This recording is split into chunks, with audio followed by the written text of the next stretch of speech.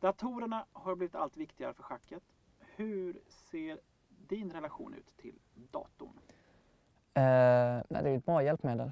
Men eh, ett, det är ett tveeggat svärd kan man säga för att det är väldigt, väldigt lätt att kolla för mycket på datorn när man analyserar öppningar men också när man analyserar partier. Det är lätt att glömma att det är en helt annan grej när man sitter vid brädet. Eh, man har ju inte datorn med sig och liksom mycket av det den säger saknar egentligen relevans för ett skarpt läge. Liksom, för att om man egentligen står bra för, men man måste spela ett par väldigt precisa drag så kanske det är bättre att spela någonting annat där dragen kommer naturligare men ställningen kanske inte är så bra och så vidare. Så, eh, samtidigt så ska man inte förneka att det är oerhört eh, bra verktyg för att den är ju så pass mycket bättre än alla människor. Så, jag gillar ju datorerna så jag tycker att de har berikat eh, schackspelet eh, väldigt mycket och man har förstått en massa saker tidigare och tagit utvecklingen framåt oerhört. Eh, men man ska ju också liksom, då samtidigt ha i åtanke riskerna med det. Men hur använder du datorn i din vardag då, i din schackträning och så vidare? Eh, jag använder datorn till öppningsanalys så mycket. För att, för att där, risken där är ju att motståndaren har kollat med datorn och då har någon, någon idé eller några förslag. Då måste man ju veta att det man har tänkt sig att spela faktiskt håller.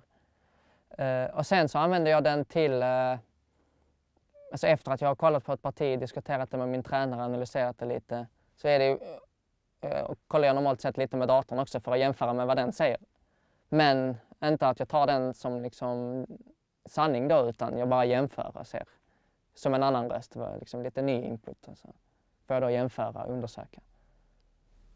Och nu pratar vi då dator som analysmotor. Ja. Men jag misstänker att du använder den ganska mycket som kartotek och som Ja, abs- ja visst absolut, absolut. Nu, jag, jag, eh, så f- för mig behöver det ju inte sägas eftersom så har det alltid varit, till skillnad från äldre spelare. Ja, ni hör här hur gammal jag är som gör de här intervjuerna här. Vi har en generationsskifte här helt Eh, enkelt. Så Exakt. Jag, jag, precis, att beskriva sin dator som ett kartotek är väl inte riktigt en vardagsmat för mig. Men, eh, men eh, nej, nej, självfallet. Alltså, det är ju otroligt... eh, Alltså, men om man har koll, man har ju koll på alla vanliga partier som spelas, alla korrespondenspartier som spelas och de allra flesta datorpartierna som spelas.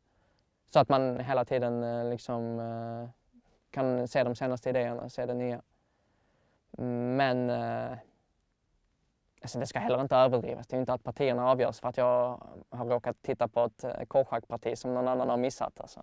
Så är det ju inte. Men eh, det är alltid, när man väl sitter och jobbar med en öppning till exempel så är det ju alltid intressant att ha så mycket information som möjligt om det.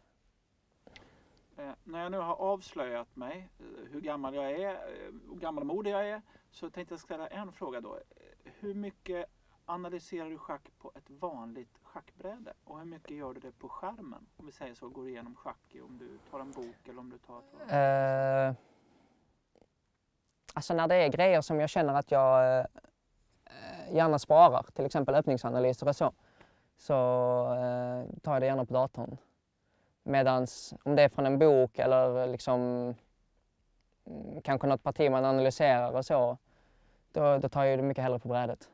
Och liksom kombinationsövningar, studier och sånt, det är ju bara brädet, det är alltid. Det är liksom, eh, jag föredrar ju att sitta vid ett riktigt bräde, utan tvivel. Och det gläder mig. Tack så mycket. Jag tror det så för de flesta.